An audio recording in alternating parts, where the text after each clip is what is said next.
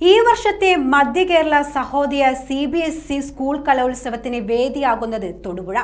സർഗധ്വനി രണ്ടായിരത്തി ഇരുപത്തിരണ്ട് എന്ന് പേരിട്ടിരിക്കുന്ന കലോത്സവത്തിന് മുട്ടം ഷന്താൾ ജ്യോതി പബ്ലിക് സ്കൂൾ ആതിഥേയത്വം വഹിക്കും. ഒരുക്കങ്ങൾ പൂർത്തിയായതായി സ്കൂൾ അധികൃതർ അറിയിച്ചു. ഇടുക്കി എറണാകുളം കോട്ടയം ജില്ലകളിലെ നൂറ്റി പതിനഞ്ചോളം സി ബി എസ് ഇ സ്കൂളുകൾ മത്സരങ്ങളിൽ പങ്കെടുക്കും.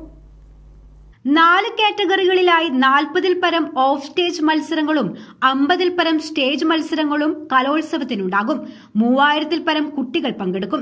ഒക്ടോബർ പതിനഞ്ചിന് മന്ത്രി റോഷി അഗസ്റ്റിൻ കലോത്സവം ഉദ്ഘാടനം ചെയ്യും. Madhya Kerala Sahodaya secretary Johnson Mathew അധ്യക്ഷനാകും. Mother provincial sister Merina Njarakkattu മുഖ്യ പ്രഭാഷണം നടത്തും. മുട്ടം ഗ്രാമപഞ്ചായത്ത് president Shyja Jomon panchayat member Arun Cheriyan P president doctor Thomson Joseph എന്നിവർ ആശംസകൾ അർപ്പിക്കുമെന്നും സംഘാടകർ പറഞ്ഞു.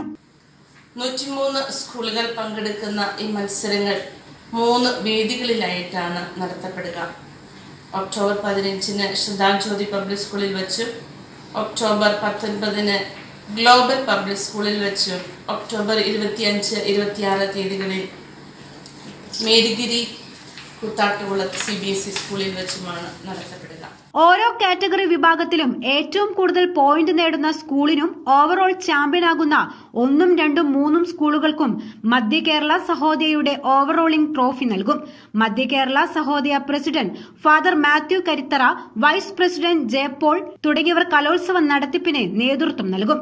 Shantal Jyothi public school principal sister Lislin S A B S P T A president doctor Thomson Joseph തുടങ്ങിയവർ വാർത്താ സമ്മേളനത്തിൽ പങ്കെടുത്തു.